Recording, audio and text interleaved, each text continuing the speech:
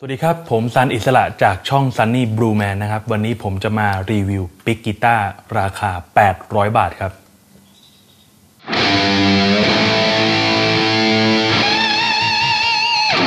โอเคครับปิกตัวนี้นะครับเป็นปิกที่ชื่อว่ายี่ห้อ Rombo นะครับ นี่นะครับทำไมมันถึงราคาตั้ง 800 เพราะว่าผมซื้อมาเป็นเซตนะครับ เซตละ 8 ตัว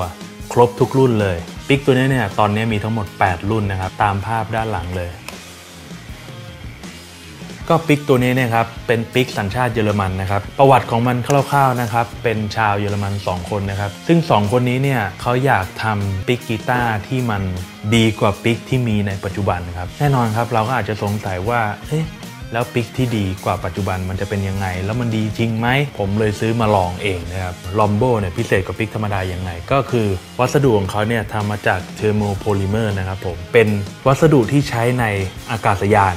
นะครับการออกแบบ pick เนี่ยครับจะไม่เหมือนกันเลยในแต่ละรุ่น ในใน pick หนึ่งตัวเนี่ยจะมี 2 เนื้ออะพูดงี้แล้วกัน เนื้อหนึ่งเอาไว้จับถือเนื้อหนึ่งเอาไว้ตรงปลาย เพื่อการเล่นที่ลื่นไหล ลดแรงเสียดทานทำให้เล่นได้เร็วขึ้น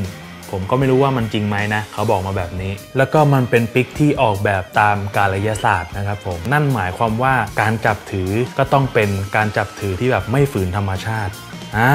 ซึ่ง 8 รุ่นเนี่ยใช้งานแตกต่างกัน แล้วก็ขนาดแตกต่างกันหมดเลย บางตัวใช้ปั่น บางตัวใช้ตีคอร์ด แต่ละตัวมันมีการออกแบบมาเพื่อการเล่นที่แตกต่างกันนะครับผม โอเค เดี๋ยวมาเริ่มกันที่ตัวแรกนะครับ ก็วิธีการแกะนะครับ คือมันจะติดมาอย่างนี้เลยนะครับ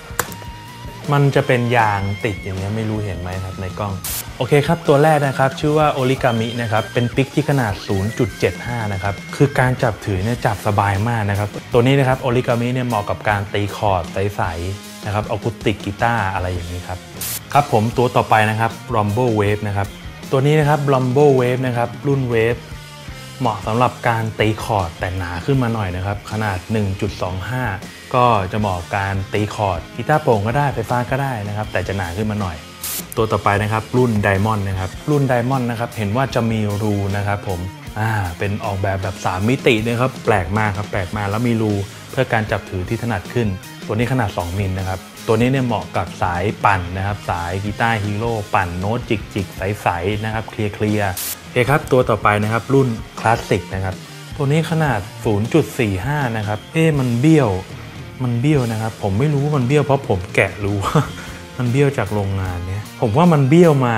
จากโรงงานนะเฮ้ยพอจับถือแล้วมันดีมากเลยครับ คือมันเบี้ยวรับรับนิ้วเรา มันเหมือนปิกมันเบี้ยวให้เรานะครับ มันจับแล้วมันเฮ้ย มันดีมากเลยอันเนี้ยอันนี้ผมว่าดีมาก ก็เจ้าคลาสสิกเนี่ยเหมาะกับสายอะคูสติกกีตาร์หรืออูคูเลเล่หรืออะไรแบบนั้นเลยนะครับ ขนาด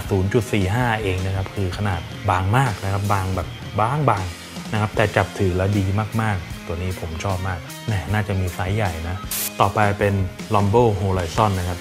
แหมชื่อโคตรเท่เลยนะครับ ตัวนี้จะเหมือนกับคือมองเผินๆแล้วเนี่ยเหมือนกับ pick ของจอร์ r ูชีรุ่นหนึ่งแต่ก็ไม่เหมือนนะฮะ คือด้านบนจับแบบด้านด้านล่างนี่คือเป็นเงานะครับแล้วปลายแหลม คือเจ้า Horizon เนี่ยเขาบอกว่ามันจะ smooth นะครับรู้สึก smooth แล้วก็จิกโน้ตได้ดีเพราะปลายแหลมนะครับขนาด 1.4มิลลิเมตรนะครับโอเคครับตัวต่อไปนะครับ Prisma นะครับผมเป็น pick แบบสามเหลี่ยมพีระมิดเลย คือใช้ได้ทุกมุมนะครับ ตัวนี้มันเป็น pick ที่ขนาด 0.8 ใครที่ชอบสายปิกแบบใช้ได้ 3 ด้านคุ้มๆ ผมว่าตัวนี้ตอบโจทย์นะครับ แล้วก็ไม่แข็งไม่อ่อนจนเกินไปด้วย ตัวต่อไปนะครับ Lombo Cliff นะครับผมขนาด 1 มิลนะครับผมจับถือถนัดนะครับถนัดเลยจับถือถนัด ตัวนี้เนี่ยเขาบอกว่าจะให้เสียงที่อุ่นนุ่มนะครับ แล้วก็ขนาดกำลังดีนะครับ ไม่แข็งไม่อ่อนจนเกินไป แล้วก็เด้งด้วยนะครับ ในนี้เขาจะบอกว่า Grace Bass Tone เลยนะครับ ก็คือเสียงย่านเบสย่านวอร์มโทนเนี่ยจะดีนะครับผมครับตัวต่อไปตัวสุดท้ายแล้วนะครับ Lombo Jet นะครับผม เคครับเจ้าเจสนะครับ ตัวนี้ก็จะเป็นปิ๊กทรงหยดน้ำนะครับหยดน้ำโอ้ผมว่าจับถือถนัดนะตัวนี้สรรพคุณของเจ้าตัวนี้นะครับ มันบอกว่าเน้น a c t a c แล้วก็เบสโทนก็ดี แข็งกระชับเอาไว้เล่นหนักๆเนี่ยได้เลย โอเคครับ ตอนนี้ปิกทั้งหมดก็อยู่ในมือผมแล้วนะครับ 8 ตัว เดี๋ยวมาดูกันว่าฟีลลิ่งในการดีจริง ๆ แล้วเนี่ยในแต่ละตัวจะเป็นยังไงนะครับผมเดี๋ยวไปดูกัน โอเคครับ ตัวแรกนะครับโอลิกามินะครับผม ผมจะลองเสียงคลีนก่อนนะครับ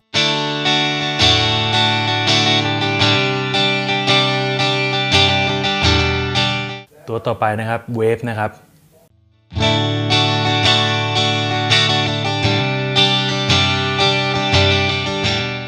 ตัวต่อไปไดมอนด์นะครับ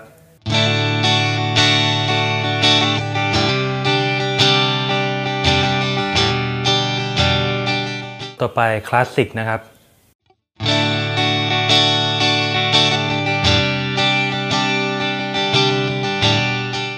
ตัวต่อไป Horizon นะครับ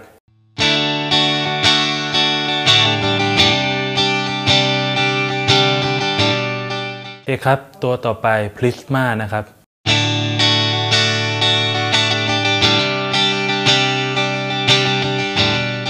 โอครับ ตัวต่อไป Lombo Christ นะครับ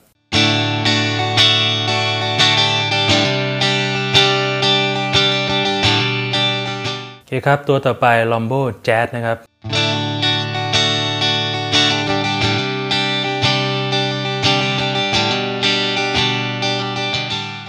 โอเคครับ เดี๋ยวผมจะลองกับเสียงแตกบ้างนะครับโอริกามิเสียงแตกนะครับ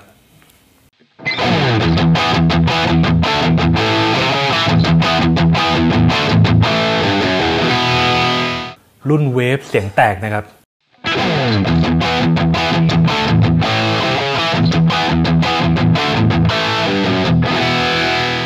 รุ่นไดมอนด์เสียงแตกนะครับ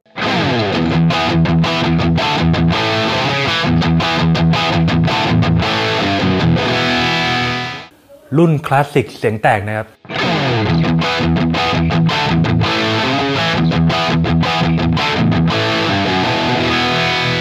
รุ่น Horizon เสียงแตกนะครับ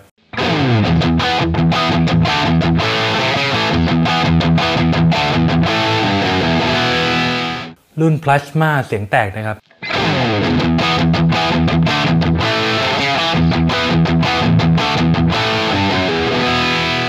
รุ่นคลิสเสียงแตกนะครับ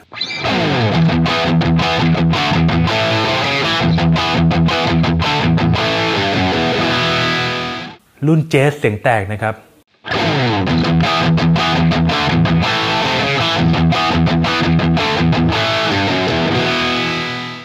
เคครับ เดี๋ยวเรามาสรุปกันว่าเจ้า Pick Rumble เนี่ยเป็นอย่างไรในความคิดเห็นส่วนตัวของผมนะครับ ผมว่า Pick ทุกตัวนะครับไม่มีตัวไหนดีที่สุดนะครับ คือมันดีต่อการใช้งานแต่ละรูปแบบ เราถนัดแบบนั้นเราเอาไปใช้แบบไหนแบบไหนแบบไหน ผมว่าซื้อชุดนี้ไปคือเล่นได้ครอบคลุมมาก ๆ ส่วนเรื่องแรงเสียดทานที่ ทำให้มันลื่นแล้วก็ใช้แรงน้อยลงปั่นได้เร็วขึ้น ผมว่ามันนิดนึงไม่ได้แบบว่าโอ้ห้าสิบเปอร์เซ็นต์ร้อยเปอร์เซ็นต์นิดนึงมันรู้สึกว่าฟีลลิ่งมันมันโฟล์ขึ้นอ่ามันแบบไหลลื่นขึ้นนะครับผมแล้วก็ด้วยการจับถือที่แปลกใหม่ ปกติปิกเราก็จะแบนๆไปเลยบางๆไปเลยหรือเพิ่มเนื้อด้านบนนิดๆหน่อยๆผิวสัมผัส หยาบๆหรืออะไร แต่นี่คือการออกแบบมันมันเหมือน 3 มิติอย่างที่เขาบอกเลยคือ มันมีนูนมีว้าวมีเชฟมีอะไรเต็มไปหมดทุกตัวไม่เหมือนกัน ผมว่าชุดเนี้ย800 บาทเนี่ยอาจจะแพงไปสำหรับบางคน แล้วก็แพงสำหรับผมด้วยนะครับ แต่ส่วนตัวผมเองแล้วเนี่ยครับมีปิกค่อนข้างเยอะมากๆนะครับทำไมถึงจะต้องมีปิกเยอะขนาดนั้น ไว้เดี๋ยวผมจะทำคลิปแยกให้นะว่าทำไมผมถึงใช้ปิกเยอะขนาดนั้น กลับมาที่ Rumble Pick นะครับไม่มีอะไรมากนะครับผมว่าเป็นปิกที่คุ้มค่าแก่การซื้อนะครับวัสดุเขาบอกทนทาน 8 ตัวนี้คือเล่นได้ทุกแนวครอบคลุม อาจจะมีคนบอกว่าก็ผมเล่นแนวเดียว ผมเล่นล็อกอย่างเดียว ไม่จำเป็นต้องใช้ปิกบาง สามารถซื้อแยกเป็นรุ่นๆได้ว่าเราชอบรุ่นไหนอะไรยังไง แต่สำหรับคนที่อยากรู้ว่าแต่ละรุ่นเป็นอย่างไร อยากเฟ้นหาว่าปิกที่เราชอบใน 8 รุ่นนี้เราจะชอบรุ่นไหน ให้ซื้อเซตนี้มาครับ800 บาท คุณจะได้ลองทุกรุ่นของมัน และจะได้รู้ว่าตัวเองชอบแบบไหน หรือบางคนที่บอกว่าเล่นแนวเดียว ไม่จำเป็นต้องใช้ปิกบางปิกหนา หรืออะไรก็ตาม ไม่แน่นะครับ สักวันคุณอาจจะต้องบันทึกเสียง หรืออาจจะต้องเล่นอีกแบบหนึ่งปิกกีตาร์ของคุณไม่สามารถตอบสนองสิ่งที่คุณต้องการได้ คุณอาจจะหยิบตัวบางมาเล่น หรือหยิบตัวหนามาเล่นนะผมว่ามีไว้ติดบ้าง 8 ตัวเนี้ยเล่นได้ครอบคลุม การจับถือฟีลลิ่งอาจจะแปลกสำหรับบางคนที่แบบว่าโอ้โหมันมีมุมอะไรเต็มไปหมดเลย แต่จากที่ผมเล่นมา ผมรู้สึกว่าการจับถือไม่เหมือนกันเลย และก็ไม่เหมือนปิกอื่น ๆ ที่ผมเคยเล่นมา ติดมืออด้วยแล้วก็ธรรมัดทะแมงขึ้น เออ พูดอย่างนั้นละกัน สรุปไว้เพียงเท่านี้ละกันนะครับ Rumble Pick นะครับ ไปหาซื้อกันได้นะครับ ที่ร้าน Yes Guitar นะครับ ซึ่งเขาไม่ได้จ่ายผมนะครับ ผมรีวิวซื้อมาเอง เสียเงินเอง เพราะอยากรู้จริง ๆ นะครับผม โอเคครับ ก่อนจะปิดคลิปนะครับ อย่าลืมกดไลค์ กด Subscribe ให้ผมด้วยนะครับ แล้วก็ใครอยากให้ผมรีวิวอะไรอยากก็คอมเมนต์ไว้ที่ใต้ล่างนี้เลยนะครับสำหรับวันนี้นะครับขอลาไปก่อนนะครับผมสวัสดีครับ